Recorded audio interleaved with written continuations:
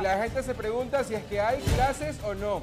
Tienen que saber que la Subsecretaría de Educación de la Zona 8 dijo que debido al paro de transportistas urbanos, los estudiantes de la jornada vespertina en Guayaquil saldrán a las 16 horas. 4 de la tarde, ojo, solo jornada vespertina, mientras que se suspende la jornada nocturna de presencial en los tres cantones de la zona 8, o sea, hasta próximo aviso, Guayaquil, Durán y San Borondón.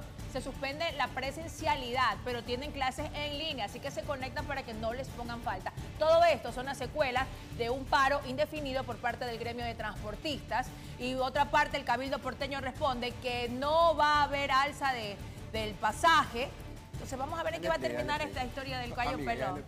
De una, vamos a ver la nota. Que hubo bajo porcentaje de ausencia durante las actividades escolares de este lunes en la zona 8, a pesar del paro de transportistas, afirmó la subsecretaria de Educación. Nosotros hicimos un levantamiento de información a horas de la mañana, nosotros contamos con el 66% de asistencia de nuestros estudiantes y el 77% de asistencia por parte de nuestros docentes. Pero los estudiantes contaron las peripecias que pasaron para acudir a las aulas.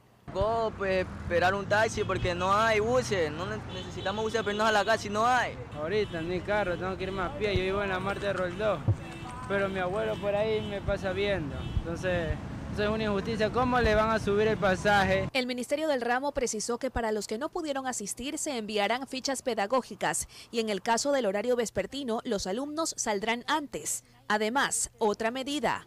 16 horas a las, a las 4 de la tarde y el Cantón Durán y San Borondón va a mantenerse con total normalidad en la jornada vespertina. La jornada nocturna vamos a cambiar la modalidad a no presencial en las 73 instituciones educativas que ofrecen esta, esta modalidad. Las medidas serán evaluadas constantemente acorde al avance de la protesta, informó Adriana Peralta.